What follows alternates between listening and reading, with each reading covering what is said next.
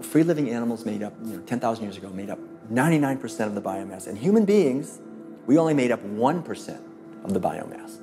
Today, only 10,000 years later, which is really just a fraction of time, we human beings and the animals that we own as property make up 98% of the biomass, and wild free living animals make up only 2%.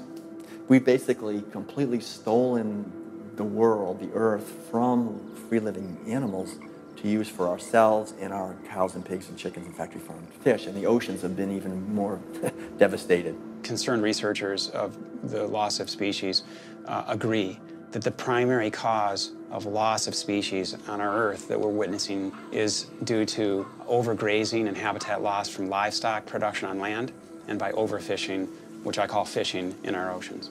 And we're in the middle of the largest mass extinction of species in 65 million years. The rainforest is being cut down at the rate of an acre per second.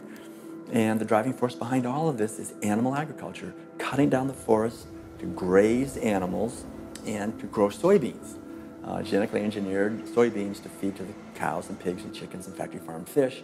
91% of the loss of rainforest in the Amazon area thus far to date, 91% that's been destroyed is due to raising livestock.